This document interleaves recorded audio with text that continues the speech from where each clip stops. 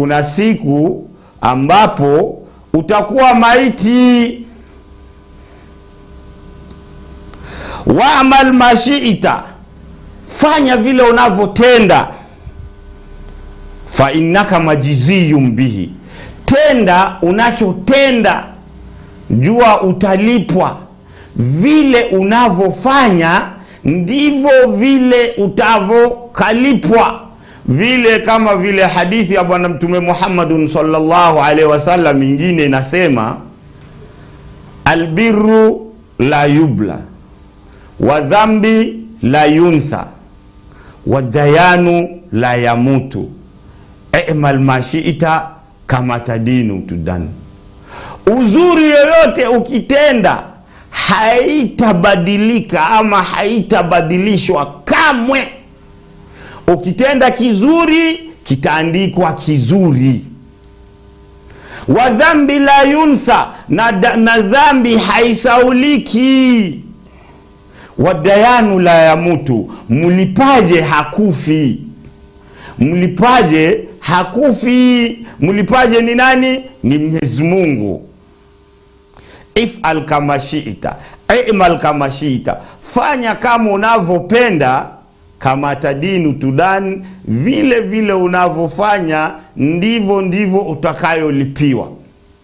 Hakuna mtu atalipiwa kwa dhambi ile hajayotenda ama kwa mazuri ile hajayotenda. Itatoka kwa namna ya uchumi yako ambayo uliochuma hapo duniani, ndiyo vile utalipwa. Sasa ndio hapo kwa hadithi inasema, wamal mashita, fanya kama unavyopenda, fa innaka majiziyun bihi, utalipwa na yale ambaye utafanya. Wahbab man shiita, penda utakayempenda. Penda yoyote ambayo umeamua kumpenda, mpende fa innaka mufarikuha, jua wewe utawachana naye. Penda mtoto yako, jua utawachana na huyo mtoto. Penda mwanamke wako, jua utawacha huyo mwanamke. Penda yoyote utakayopenda. Penda disco, jua utakuja kuachana na disco. Penda kula haramu, jua utakuja kuachana na kukula haramu. Penda mairungi, jua ndugu yangu, kuna saa itafika utawacha kukula mairungi. Penda chochote cha mwenye unachopenda, fa innaka mufarikuha, wewe utafarikiana na hiyo kitu, utawachana na ile kitu ambaye utakuwa unapenda. Waalamu anna sharafa almu'min, na ujua umuhimu wa mu'min sharafa ile sharafa ya, ya mtu muumini, swalatuhu bileili, na ni swala zake za usiku. Wewe kutakuja kuwa bora, kukuwa mtu mwenye atakuwa mbele ya Mwenyezi Mungu bora, ni swala zako za nini? Za usiku. Waizuhu istighnau aninnas, na utukufu wako, utukufu wake aule mtu ni kutosheleza na kutoshelezeka na kitu ambaye iko kwa mkono ya watu. Maana yake wewe unakuwa na kina una, unashiba na kitu ile Mwenyezi Mungu amekupa, na wewe umetosheleka na yale mwenye Mungu amekupa. Hukui mtu wa kupenda penda wa kuombaomba wa huku na huku na huku, al istighnahu ile kushiba kutosheleka na yale kidogo mwenye Mwenyezi Mungu amekupa. Katika hadithi ingine Bwana Mtume Muhammadun sallallahu alayhi wa alihi wasallam anasema, izhad fi dunya yuhibbuka Allah wazhad fi ma inda nasi yuhibbuka nas. Pen, geuka geuza mgongo yako kwa dunia, Mwenyezi Mungu atakupenda. Utakuwa unageuza mgongo yako kwa dunia kiaje? Kivipi? Siku hizi kuna mambo mingi ya starehe, kuna mambo mingi wewe umegeuza mgongo yako ndani yake, ama kwa mfano kwenda disco, kwenda kwa mabaa, kwenda kwa maklabu, kwenda wapi wapi, kwa sehemu za raharaha ambapo zimejaa ndani yake haramu, zimejaa ndani yake maasiatillah. Wewe umejizuia, umegeuza mgongo kwa dunia. Yuhibuka Allah, Mwenyezi Mungu atakupenda. Wazhad fima inda nasi yuhibuka nasi, na vile geuza mgongo yako kwa yale watu wanayo, watu nayo watakupenda wewe. Ukikuwa hapo unakaa, mtu ana chake shauri yake, mtu anafanya vyake shauri yake, wewe hujali, ushughuliki na maneno ya mtu, wewe uko kwa vyako. Kwa hivi Mwenyezi Mungu naye atakupenda. ndio tunarudi katika ile mada Jamaa anauliza Nabii Suleimani, huyu mtu ambaye ananiona ananitizama kwa jicho la asira ni nani? nabi suleiman akamwambia, huyu ni israili huyu ni malakul mauta hadimulazati, ambaye anakata utamu kutoka kwa mdomo wa mtu, mtamu kwa raha na mpendaye. Ndiyo jamaa akasema, na ananiona hivi kwa nini? Lengo lake nini? Eti amekuja amekuja kukutoa, siku zako zimetosha, amekuja kutoa roho yako. Basi jamaa akamwambia Nabii Suleimani, nakuomba kwa haraka, tafadhali nisaidie, wewe ni nabii, una nguvu, niamrishie upepo inipeleke sehemu ingine jamaa akija asije kunipata hapa. Sasa Nabii Suleimani naye akamwombea, akasema upepo mchukue sehemu anayotaka. Upepo ikachukua jamaa, kwa mfano kama India. Sasa ule malakul mauta kurudi kuja kuuliza nabi Suleimani, eh, jamaa iliyokaa hapa saa ile yuko wapi? Ati jamaa ameniombea nimwombee upepo mchukue India. Ndio na mimi nimemwombea upepo imemchukua India. Kisha akaambiwa ati ahadi ilikuwa pale India. Ahadi ya kutoa roho ya huyu jamaa ilikuwa wapi? Ilikuwa India. Huku ndio kulikuwa ahadi, na kwa aya ingine ambayo inasema innal mauta alladhi tafiruna minhu fa innahu mulakikum, hii mauti hii kifo ambaye mnakimbia hamuitaki kuisikia, jueni itawafikieni, mtakabiliana nayo. Sasa kwa hivi, mwanadamu, wewe ishi kama unavyopenda, jua wewe siku moja utakuwa maiti.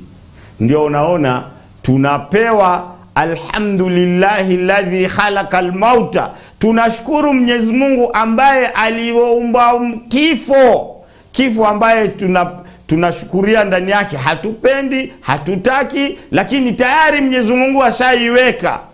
Sasa wewe ishi kwa dunia, jua wewe ni kitu duni, wewe ni kitu bure, huna thamani yoyote mbele ya Allah subhanahu wa ta'ala. Jua wewe ni wa Mwenyezi Mungu. Nakupa mfano ndugu Muislamu, ukikuwa umenunua kitu kama simu yako, na hiyo simu inatumia batri, unaona, ukitoa batri simu imekufa, inakuwa haina maana. Ndio wewe mwanadamu uko wa Mwenyezi Mungu. Mwenyezi Mungu saa akiamua tu anatoa ile pumzi yake kwako, wewe umebaki tu bodi bure, hakuna kitu. Sasa kwa hivi inafaa tuishi tujue ya kwamba sisi tuko wagenyi wa muda tu, saa yoyote tunaenda kwa Allah subhana wa ta'ala.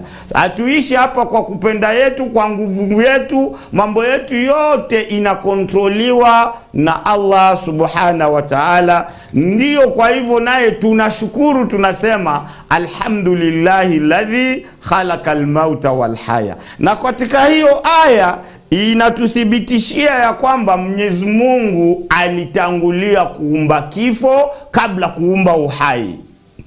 Sasa kama kweli aya inatuonesha Mwenyezi Mungu alitangulia kuumba kifo kabla uhai. Kwa nini sisi hatukumbuki? Kwa nini hatujui kama hiyo dunia ni mapito, tunapita tu. Dunia sio pahali petu, dunia ni mapito. Watukufu wa Islamu, naona ndio wanasema kushukuru ala kulli hal alhamdulillahi ala kulli hal, unashukuru kwa kifo na unashukuru kwa uhai. Hii ni shukuru ya kusema alhamdulillahi ala kulli hali, kwa hali yoyote unafaa kumshukuru Allah tabaraka wa taala kwa uzuri ambaye atakuletea, shukuru. Kwa ubaya atakayokuletea, shukuru, kwani wewe ni yake, anafanya na wewe vile anavyotaka. Hakuna maneno ya kusema ati anakushauri anakuulizia wewe, ila mtu mwenye aliyeulizwa alipewa shauri nilikuwa ni Bwana Mtume Muhammadun sallallahu alaihi wa alihi wasallam. Aliulizwa kama bado atata, anataka kuishi ama anataka kwenda kukutana na Mola wake subhana wa taala pale akasema hata japokuwa nikiomba kuishi kwa muda mrefu sitakufa, hati nitakufa, basi tekeleza amri yako. Ule peke yake ndio alishaurishiwa na Allah subhanahu wa taala. Lakini mimi na wewe ndugu yangu, jua saa yoyote sisi tunaenda, sisi ni property ya mtu mwingine, sisi ni property ya Allah subhanahu wa taala. Sisi hatuna uwezo yoyote, hatuna nguvu yoyote, sisi ni amana tu, tunapita kupita kwa hivi kabla kufika kwa siku yetu ile, nafaa tukuwe tumeandaa mazuri ambaye tutakuwa tunaenda nayo, tutakuwa tunaenda nayo ile tutapita ndani yake katika amali lbarzakhia, hayati lbarzakhia. Hebu sikia katika hiyo hadithi, baada ya wewe umechuma katika hii dunia, unafanya vile unavyotaka umefanya mazuri, umefanya mabaya, shauri yako, jukumu ni yako. Lakini sikia katika hiyo hadithi ambayo Bwana Mtume Muhammadun sallallahu alaihi wasallam ametuelezea hadithi, heading yake inasema almayitu fil kabri, akhrajahu Imamu Ibnu Hibbani rahimahullah fil mawarid wal fi fil mustadrak an abi huraira radhiyallahu anhu qala inna almaita idha udhia fi kabrihi innahu yasmau hifka nihalihim hina yuwalluna anhu. Hadithi hii Abi Huraira radhi ya Mwenyezi Mungu iwe juu yake amesema ya kwamba Bwana Mtume Muhammadun sallallahu alaihi waalihi wasallam amesema Inna lmaita idha udhia fi lkabri, maiti pindi itakapowekwa ndani ya kaburi, ndani ya mwana, ndani ya haki ile tunaita baitul haki, ni nyumba ya haki ile ya upeke. Innahu yasmau hifkan nihalihim, huyu maiti anakuwa anasikia mlio wa viato ya watu, champali ya watu, hatua ya watu, kama wanatoka wanaenda nyumbani, tayari huyo maiti ndani ya kaburi anakuwa anasikia.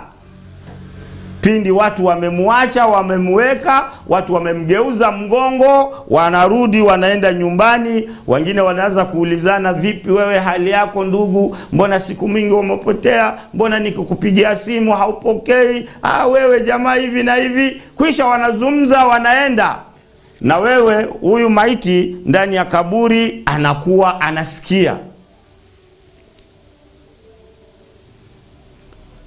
in kana maitu in kana mu'min kanat salat inda rasihi, huyu maiti akikuwa ni mu'min, maiti huyu akikuwa ni mu'min, kanat salat inda rasihi, swala inakuja kwa upande wake wa kichwa. Wa kana siyam inda yaminihi, na saumu yake aliyefunga swaumu wa mwezi wa Ramadhani, swaumu wa mwezi wa Rajab, swaumu wa mwezi wa Shaaban, swaumu wa Dhulhija, saumu ya sitati, saumu ya ayamul bidhi, saumu ya siku ya mande na Alhamisi, saumu hizo masunasuna zote wamesema siyam kana ala rasihi, inakuja kwa kichwa yake. Wakana inda yamin wakana, eh, wakana siyam inda yaminihi, swaumu inakuja kwa, kwa upande wake wa kulia. Waka, wakanati zaka inda shimalihi, na zaka inakuja kwa mkono wake wa pande wa kushoto wakanat filu lkhairati min alsadaka wasilati walmarufi walihsanu ila nasi inda rijilaihi wakana filu lkhairati na matendo mazuri matendo yake mazuri yanakuja ma, wa filu lkhairati matendo mazuri mina sadaka matendo mazuri kutokana na swadaka waswilati na ukoo undugu. Hii kwanza ibada ya undugu inafaa nizungumzie vizuri sana watukufu wa islamu undugu ni kitu kikubwa sana ambapo leo sisi waislamu ibada hii tumeyapuza tumeyatupa mbali sana. Unapata muislamu anaongea kwa muislamu kwa ndugu yake mwenzake ambapo walitoka tumbo moja baba moja mama moja. Mimi sitazungumza na huyu. Mimi sitasikilizana na huyu. Bora nife kafiri kuliko kusikilizana na huyu.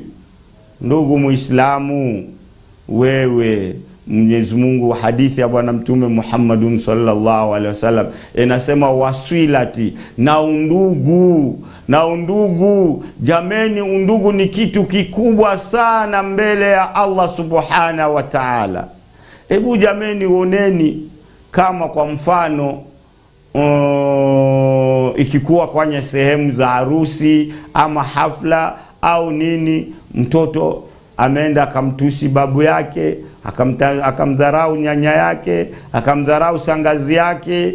Ah, na ule shangazi akakasirika ama baba akakasirika ona laana ngapi huyo mtoto anapata.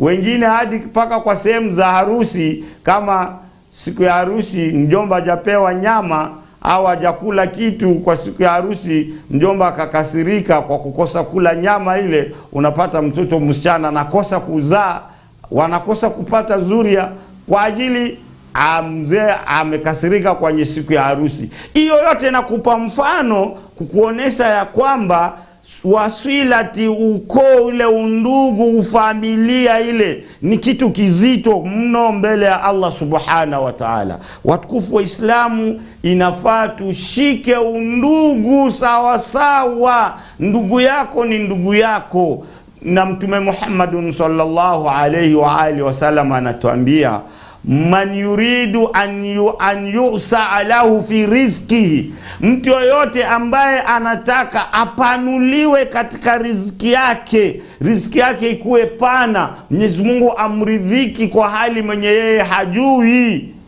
An, an yahsil rahimahu, anafaa ayunge ukoo, ayunge undugu. We amka usubuhi, piga simu kwa ndugu yako, sema ndugu fulani, umelalaje huko, hali yako mzima? E, mtembeleane, mzuriane, mjuane hali yenu, shida yako ikuwe shida yake, yake ikuwe shida yako. Tupendane watukufu wa Islamu tupendane. Hii ndiyo tabia ya Uislamu, wasilati na ukoo na ile ukoo undugu, walmaarufi na kufanya mambo mazuri. Mambo ya maarufu vile imekuja katika aya kuntum khaira umma ukhrijat linnasi taamuruna bilmarufi watanhauna anil munkar.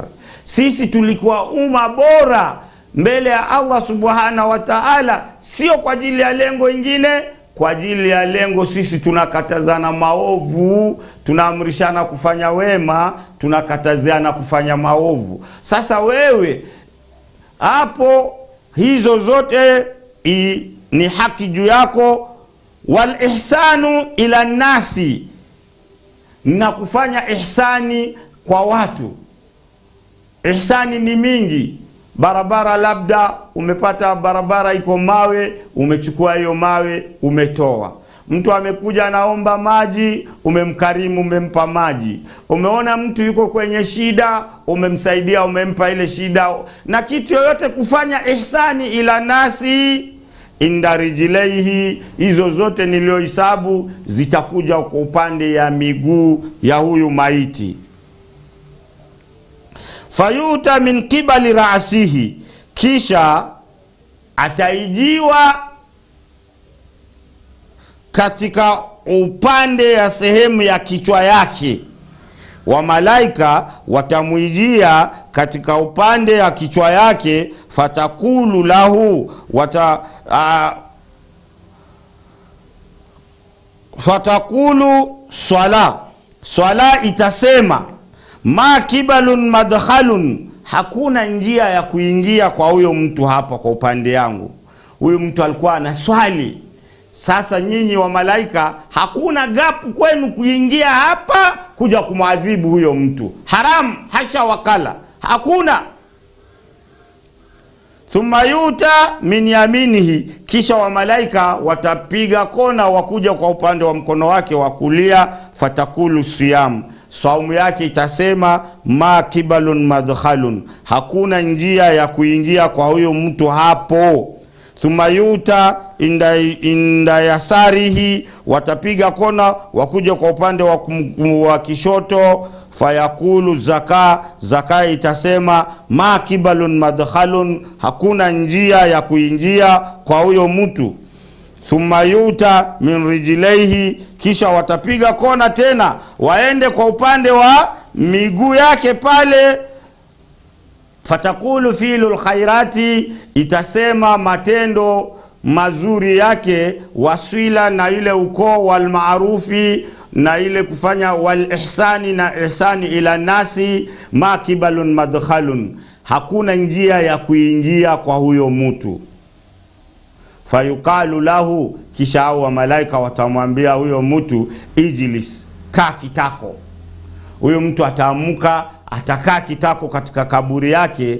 Fayajlisu atakaa. Wakad mathu lahu shamshun wakad adhanat lighurubi na it, itam, italetewa kwake katika kaburi yuko mfano wa jua kuzama saa ya jua kuzama manake ni saa ya almagharibi pale. Ndio itakuwa mfano kwa huyo mtu pale kwa kaburi. Fayukalu lahu ataambiwa huyo mtu araaitaka rajulu ladhi kana fikum je unaonaje kwa bwana ule ambaye alikuwa na nyinyi huko duniani fatakulu madha takulu fihi? Unamwambi unasema nini juu ya huyo mtu? Wa madha tashhadu bihi alaihi na ushahidi gani utatoa juu ya huyo mtu? Fayakulu dauni huyu maiti atasema bu niacheni niacheni hata uswali. Mniache kwanza wacha niswali. Fayakulu innaka satafal. Wa wamalaika watamwambia usijali wewe utafanya akhbirna amma nasaluka anhu. Tu, tu, tuambie kwa jambo ambaye tunakuuliza ndani yake. Araaitaka hadha rajulu ladhi kana fikum? Madha takulu fihi? Wa madha tashhadu bihi alaihi unaonaje kwa huyo bwana mwenye alikuwa yuko na nyinyi duniani huko? Unasemaje juu yake? Ushahidi gani unatoa juu ya huyo mtu? Fatakulu muhammad huyo mtu ambaye yuko kaburini maiti huyo atasema mnazungumza juu ya Muhammad? Ati eh. Watu wa malaika watasema ndio tunazungumza juu ya Muhammad. Atasema ashhadu annahu rasulullah mimi natoa ushahidi na nashuhudia ya kwamba huyu ni mtume wa Mwenyezi Mungu. Jaa bilhaqi alikuja na uhaki min indillah, alikuja na uhaki kutoka kwa Mwenyezi Mungu. Fayuqalu lahu, kisha ataambiwa ala dhalika huyitta, katika hii hali ndio umekuwa hai, katika hii hii, hali ulimjua Bwana Mtume Muhammadun sallallahu alaihi wa alihi wasallam, katika hii hii hali ndio umekuwa unaishi kwa dunia huko wa ala dhalika mutta, na katika hii hali ndio ulikufa. Wa ala dhalika tubathu insha Allah, na katika hii hali ndiyo utafufuliwa kwa uwezo wa Mwenyezi Mungu. Thumma yuftahu lahu babun min abwabi ljanna, kisha atafunguliwa milango katika milango ya janna. Babun min abwabi ljanna, atafunguliwa milango mmoja katika milango ya janna. Fayuqalu lahu, ataambiwa hadha makaaduka minha hiyo ndio maka, makazi yako ndani yake huko, manake pahali pako pa kukaa, pahali pako pa kuishi, ndio hapa, itakuwa hapa. Wama adda laka Allahu fiha, na maandalizi tofauti tofauti. Mwenye Mwenyezi Mungu amekutayarishia ndani yake hapo, maandalizi ya tofauti, maandalizi ya raha, yote iko hapo, Mwenyezi Mungu amekutayarishia fayazdadu ghidhatan wa surura, huyo mtu atakuwa na hope, atakuwa na mrali, atakuwa na, ana, anatamani arudi duniani aje afanye wema ya kupita hiyo kwa ile mazuri ambaye atakuwa ameoneshwa, atakuwa na hamu na furaha sana. Thumma yuftahu lahu babun min abwabi nar, kisha atafunguliwa Mila, mlango moja katika milango ya moto. Fayuqalu lahu, ataambiwa hadha makaadun hadha makaaduka minha, hii ni makazi yako ndani yake. Wama adda llahu laka fiha, na maandalizi tofauti tofauti mwenye Mwenyezi Mungu ndani ya hiyo moto. Lau aswaita ungekuwa umemwasi Allah, ungekuwa umefanya maasi na Mwenyezi Mungu, umekataa kutekeleza awamiri ya Allah subhanahu wa ta'ala. Wanasema fanya hii, tenda hii, tabia hii, kula haki, swali, fanya hivi, na ukikuwa umeasi, hukukuwa alikuwa unafuata vile Bwana Mtume Muhammadun sallallahu alaihi wasallam ametutairishia, wewe ungekuwa hapa, ungekuwa umeasi fayazdadu ghidhatan wa surura, huyu maiti huyo mtu atarudi kuwa na furaha sana tena na hopu kabisa. Thumma, yu, thumma yufsahu lahu, kisha kaburi yake itatandikwa ita, it, itatandikwa itapanuliwa kabisa. Panua kaburi yake fi kabrihi sabaina dhiraan thumma yufsahu lahu fi kabrihi sabaina dhiraan atapanuliwa kaburi yake pana sabaini dhiraan, dhiraa sabaini upana ya kaburi. Wayunawiru lahu, kisha Mwenyezi Mungu atanawirisha kaburi yake, atawasha taa, atawasha taa katika kaburi ya huyo. Wayuadu jasadun lima badaa minhu, na tena Mwenyezi Mungu atarudisha mwili yake kama vile alivyoanza. Katika kama vile ilikuja katika hadithi ya Bwana Mtume Muhammadun sallallahu alaihi wasallam. Anasema siku ya Kiyama watu wote watakuja kufufuliwa kama wana mwaka kumi na nane. Bado barobaro vijana, ndio utarudishwa na mwili yako, manako afya yako sawasawa sawa, huna nuksi fulania wala huna presha wala huna sukari wala nini, uko sawasawa sawa. Fayuadu ljasadu lima badaa minhu. Fayu, fayujalu nasmatahu fi nasimin tayibin wa hiya tairun fi shajara fi shajarati ljanna, kisha atawekwa kwenye makazo mzuri na sura mzuri na hali mzuri mapambo mazuri na yeye atakuwa katika kaburi kama ndege ambaye anaruka juu ya huyo mti anaruka kwa juu ya yule mti. Ni raha ndani ya nini? Ndani ya kaburi. Mtukufu mwislamu nafaa ujue kama ya kwamba polisti posti yetu sisi ya waislamu ya kwanza ni katika kaburi.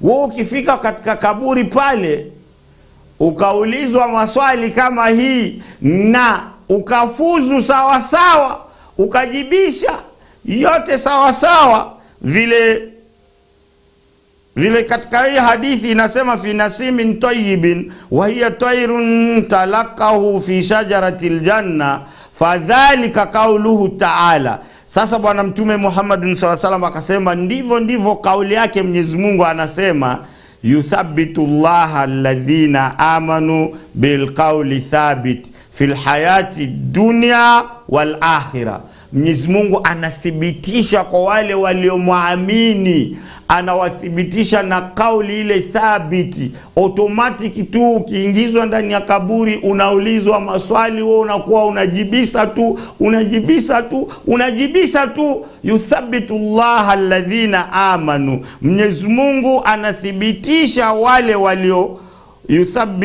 yuthabitu llaha alladhina amanu bilqauli thabit Mwenyezi Mungu anawapa wanajibisa maswali menye wa malaika wanamuuliza yote tu, watakuwa wanajibisa kwa wale walioamini peke yao, sio wewe huku hapa ghafulani haujui na ukataraji kwenda kujibisa wawe, kwani alikuwa hauswali haufanyi mambo yoyote. Wanasema training makes perfect. Mtu akikuwa amezoea mambo kila siku anakuwa kabisa perfect juu yake, ndio na wewe pale utakuwa unajibisha tu kwa urahisi.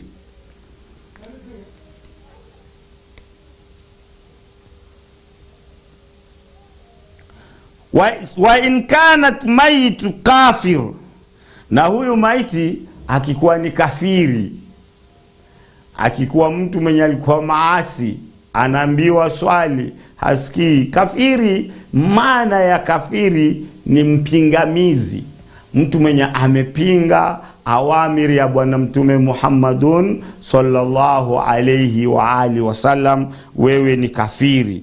Wa in kana maitun kafir, na ikikuwa maiti huyu ni kafiri idha utia min kibali raasihi, wa malaika hao wakija wakija kwa upande ya kichwa yake, lam yujadu shay'in, hawapati chochote.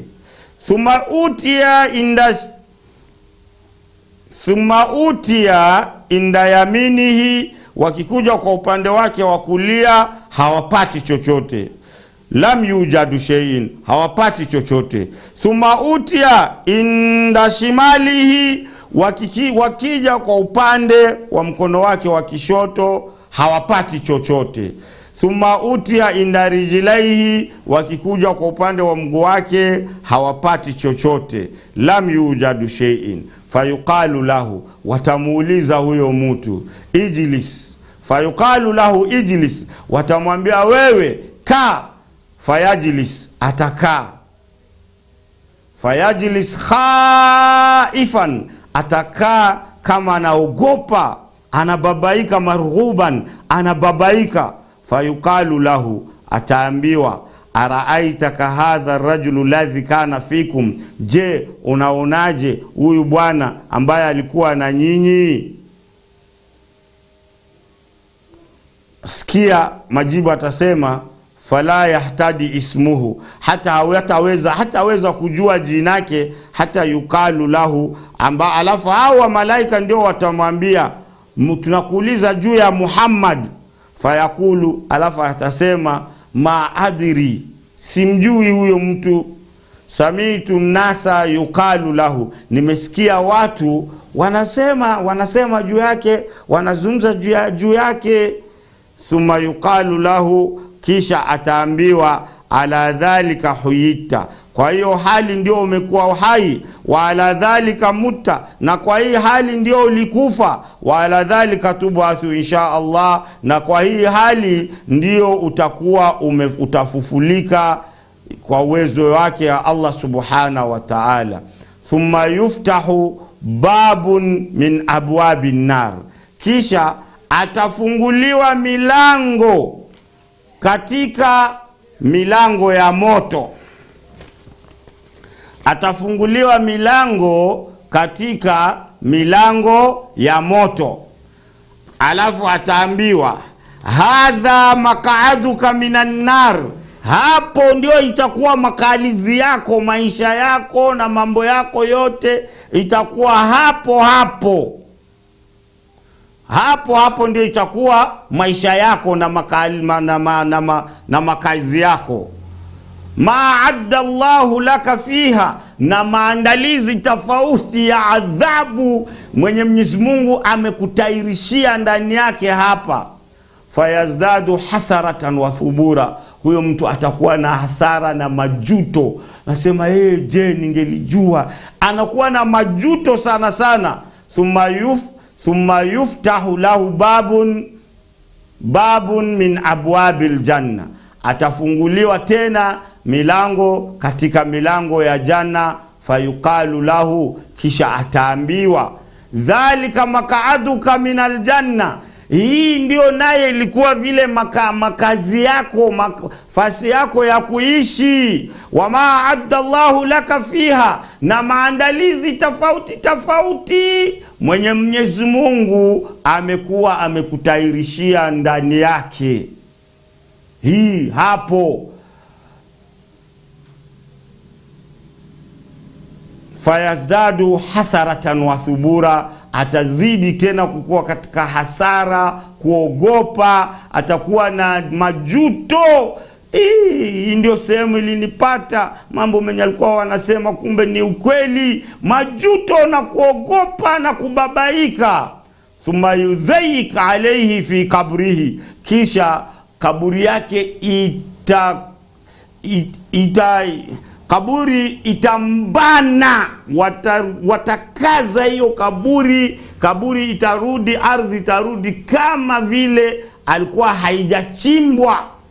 Maanake kaburi inamfinya hata takhtalifu fi adhulaihi fi adhulahu, mpaka mambavu zake zitakhtalifiana, mambazi zitakuwa zinapita, manake hivyo mbavu ya huyo mtu ya hapa inatoboa nyama inatoka huko, na huko inatoboa nyama inatoka huko. Katika uchungu ya adhabu, atakuwa na adhabu mno sana katika hiyo kaburi. Fatilka maisha tamdhanka, na hii ni maisha ya tabu, ambapo Mtume Muhammadun sallallahu alaihi wasallam akasema, waman aradha an dhikri fa inna lahu maishatan dhanka wa nahshuruhu yauma alqiyamati ahma, na mtu ambaye yoyote atakayoleta upuzi katika mambo ya Mwenyezi Mungu, Mwenyezi Mungu anasema waman aradha an dhikri, mtu yoyote ambaye atakaleta upuzi, ataleta madharau, anaambiwa fanya hii, anaona aa, yeye ndio yeye, yeye hana saa. Na wengine wanasema wenye kuswali, wenye kufanya ibada ni wa maskini, lakini wao wenye wanao hawana saa. Umeleta upuzi, unaleta dhiaka kwa mambo ya Mwenyezi Mungu utafufuliwa siku ya Kiyama. waman aradha an dhikri fa inna lahu maishatan dhanka, kwa huyo mtu atakuwa na maisha ya tabu, maisha ya tabu mno. wanahshuruhu yauma alqiyamati ama, na kisha tutamfufua siku ya Kiyama kama haoni. Alafu huyo mtu atasema ya Rabbi, e Mwenyezi Mungu wangu, lima hashartani ama, kwa nini umenifufuliwa ka umenifufua kama mimi niko kipofu, wakadi kuntu basira, na huko ulimwenguni nilikuwa naona.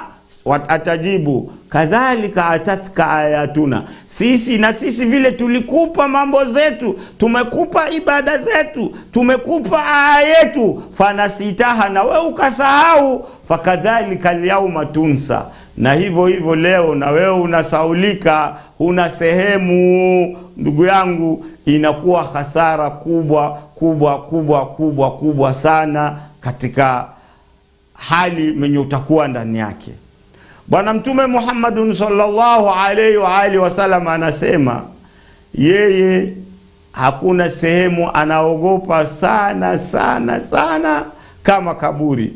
Kwa ajili kaburi ni wewe peke yako huko ndani yake. La ilaha illa Allah muhammada rasulullah. Umeacha mama yako umeacha baba yako umeacha ndugu yako. Hakuna mtu mwenye iko huko karibu. Lakini kama ni adhabu ya siku ya kiama labda unaweza ukageuka hivyo ukaona eh fulani naye yule yuko namjua. Eh fulani na wewe uko hapo. Eh na fulani kumbe yuko hapo. Hapo ah, katika ujumla mnakuwa mnachomeka. Lakini katika kaburi ni wewe peke yako la ilaha illa Allah muhammad rasulullah wewe na amali zako peke yako ulioyatenda ukiwa alikuwa umetenda mazuri ndio utakuwa naye huku. Ukikuwa umetenda maovu ndio utakuwa naye huku hiyo ni ha, hiyo ni kabla. Hii bado ni mbali mwenye wanasema tuache hiyo hadithi ya kusema mwenye ambayo wanasema idha mata ibn adam inqataa amaluhu illa min thalatha. Binadamu akifa amali yake yote imeisha anabakisha na matatu tu. Ile kama ukiwa umekufa na umeacha nyuma hapa sadakatul jaria ni sadaka ya kuendelea. Maanake ukiwa umekufa umewacha umepanda maembe umejenga msikiti umefanya kuchimba maji kuelimisha mtu kuelimisha ilmu yoyote ambayo unajua ya kheri na tena waislamu tuchunge sana tuchunge sana tuchunge sana. Mtu atakuja kufanya tena awache suu jaria unaenda unawacha maovu ja, sadaka yako ambaye mtume anasema sadakatul jaria lakini yako itageuka unawacha mbaya su ujaria. kwa mfano wewe ndio udari wa kufundisha watoto wasichana kwenda kufanya ukahaba kufanya umalaya kufanya usharati. Huyu usharati ambaye atakayemfundisha mwingine naye itakuwa inaenda kwako ndugu yangu. Inakufuata kwa ajili wewe ndio umemfundisha.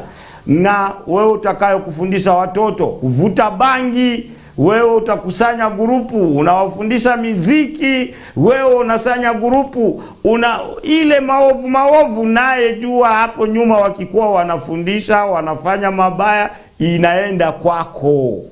Inaenda kwako. Hii ni tofauti na hiyo hadithi tuliyosoma hiyo hadithi ni yako ulioyafanya kabla ya kuingia kaburini huko. Hizo ndio zinakuwa na wewe huko ambapo ulifanya. Lakini hii menye ulikuwa umewacha nyuma itakuja kukufuata baadaye itakuja kukufuata baadaye katika hiyo hadithi ambayo naisoma wanasema sadakatul jaria ilmu yantafiu bihi au waladun saliha yad'u lahu. Ilmu yantafiu bihi ni kufundisha mtu vile nilivyosema. Unafundisha mtu qurani vile mtume muhammadun salllahu alaihi waalihi wasallam anasema khairukum man taallama alqurana waallamahu ubora wenu ule ambaye atakayejua kusoma qurani afundishe mwingine. Na wengine anasema balighuni walau kana bil aya. Munifikishieni ujumbe huu hata kama na aya moja. Hata kama na aya moja jiulize wewe kutoka ulipoumbwa kutoka ulipozaliwa umewahi kufundisha mtu umewahi kumfundisha? Sio qurani peke yake kazi yoyote umefundisha umefanya la kheri ndugu yangu adunia mataa. Dunia hii ni mapito. Dunia ni sehemu ambayo si ni sehemu yetu. Siku moja kuna kiswa fulani na hiyo kiswa kunamo ibra kubwa ambapo inaweza ikatufunza ndani yake. Kuna jamaa alikuwa ni mvuvi mtu ambaye anaenda kwa bahari anashika samaki. Pale alipoenda kushika samaki alitoa samaki moja ndani ya bahari kupasua huyu samaki akapata kuna kuna diamond kubwa iko ndani ya tumbo ya hii samaki. Alipopata diamond katika ndani ya hii tumbo ya samaki, kisha akakuja katika akakuja kwa mtajiri fulani ambaye anauza ana, ananunua hiyo damu, akamwambia e, nimepata nimeleta mali. Mtajiri huyo akasema basi njoo twende, akamfungulia stoa kubwa. Stoa imejaa pesa, imejaa goldi, imejaa kila aina ya mali na chakula, kila kitu iko ndani yake. Akasema tumenasikilizana na wewe kutoka saa hii saa mbili asubuhi mpaka magharibi, we chukua kiasi ambayo utakayeweza. Hii ndio malipo ya nini? Ya damu yako. Jamaa akaona kama ana saa, akasema wacha kwanza akule chakula. Akachukua chakula akakula. Aliposiba, kila siku tunajua shibe ni mwana malegeza, inaleta urejevu. Jamaa akalegea kidogo, akasema bado kuna saa, wacha alale. Jamaa analala hivi, baada ameamka pumzike pumzike, kwenda kufika kuona saa ya magharibi imefika, na mtajiri yuko kwa mlango, anamgongea mlango totototo, afungua na jamaa hajachukua chochote. Sasa saa ile ilikuwa agano mimi na wewe, ndio baada ya magharib akachukua akatupwa nje. Sasa hivyo hivyo ndio sisi wanadamu, mfano wetu huko hivyo. Tunaambiwa sahi tuswali, tufanye ibada, tunaona kama tunayo muda, tunaona kama tunayo saa. Wa jamaa, alwakti kasaif, saa ni kama panga in lam taktau, kama hujaikata yaktauka, yeye atakukata. Bado unaona uko na saa, uko na muda. Na kama ni masemo ya vijana wanasema tutakuja fanya ibada kama tumezeika. Hey, ume, umesahau aya ya Mwenyezi Mungu inasema inama kama tunawaamrisha nuamiruhu nunakisuhu fi lkhalqi afala yaakilun, inama nuamiruhu nunakisuhu fi lkhalqi afala yaakilun. Sisi vile tunavyowaamrisha na tunawapunguza punguza kwa viumbe, hawawezi kufahamu, hawawezi kufahamu. Ndugu yangu, leo wewe una nguvu, unaweza ukasimama usiku mzima ukafanya ibada, una nguvu lakini unasema uje ufike mzee ndio ufanye ibada. Mzee ambaye hawezi kufika na huyu kusimama juu ya saa moja. Saa hii masemo wanasema vinja meno, vunja mfupa, na wakati baada meno iko saa hii, una meno, una nguvu ndugu yangu, una nguvu ya kuswali, una nguvu ya kufanya swadaka, una nguvu ya kufanya maheri yoyote fanya kabla bado hujakabiliwa, kabla bado hujakuwa huna muda. Sai una muda ndugu yangu, adunia mataa, na anasema walal akhiratu khairun laka min alula, ya mwanzo ni bora, ya mwisho ni bora kuliko mwanzo. Sasa kwa hivi tusikuwe wenyewe watu wanaghafilika katika maisha ya dunia. Ile dunia inatufurahisha tunakuwa tu saa yote tuna tunaitikia wito wa dunia. Aa, tusikiwe katika hao watu, tujue sisi tunapita kupita, na umri yetu ya umati Muhammadun sallallahu alaihi wa alihi wasallam ni umri fupi. Tuandae jaza, tuandae jihazi yetu, ile zawadi yetu ile ambayo tutaenda nayo mbele ya Allah. Kila mtu aandae mzigo yake sawasawa. Kwa hivyo watukufu wa Islamu, naomba kukoma hapa. Allahumma rabbana arna alhaqa haqa warzuqna tibaa wa arna albatila batila warzuqna jitinaba rabbana taqabbal minna innaka anta samiun alim wa tub alayna ya maulana innaka anta tawwabur rahim rabbana inna da'awnaka kama amartana fastajib alayna kama wa'adtana ya qadhi alhajati wa ya kashfi almuhimmati birahmatika ya arhamar rahimin allahumma rabbana inna nas'aluka imanan kamila wa qalban khashi'a wa ilman nafi'a wa lisanan dhakira wa aklan tama wa amalan mutakabbala birahmatika ya arhamar rahimin wa sallallahu ala sayidina muhammadin wa ala alihi wa ashabihi wa sallam walhamdulillahi rabbil alamin. Kwa majina mimi naitwa Sheikh Ali Hassan Musa kutoka Masjidi Nur Orphanage Center Najaa, ndio sehemu mimi napatikana. Ukikuwa unataka kunipata huku, ndio sehemu wangu. Wassalamu alaikum warahmatullahi wabarakatuh. Allahu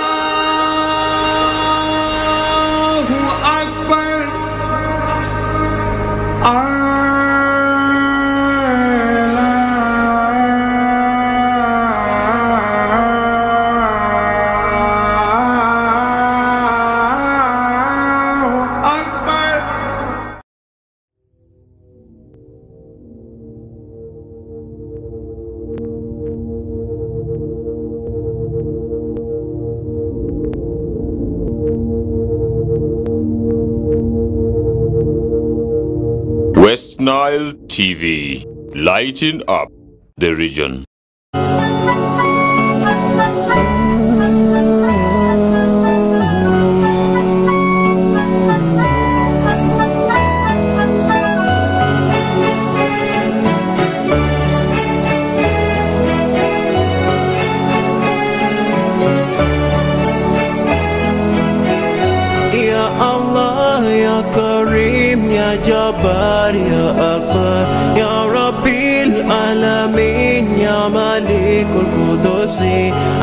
Azizul Hakim, Astaghfirullah, Ya Allah, Astaghfirullah, Ya Allah, Astaghfirullah, Ya Allah, maisha yangu ya dhambi madhambi ya dhahir na shahir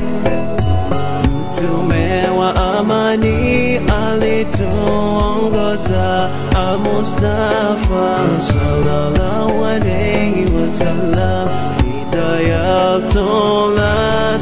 hidayatulas wasadatahim kama si wewe singekuwa chochote. Niko radhi kufanya lolote nipoke sina cha kukulipa mengi umenipa. Kitabu cha haki ya karim. Na sujudu mbele zako naomba unisamehe yeah.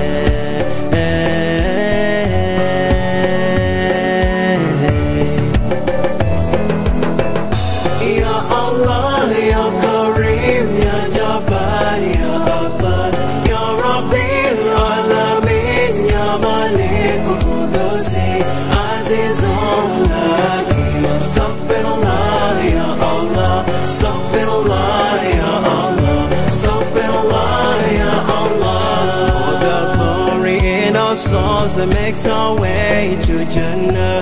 Ain't nobody greater than you. Your love has got no measure. If it ain't for you, I wouldn't beg it. No, no. Please forgive me. I'm sorry for I have done evil. I know guidance come from you. And the devil is a liar. I know guidance come from you.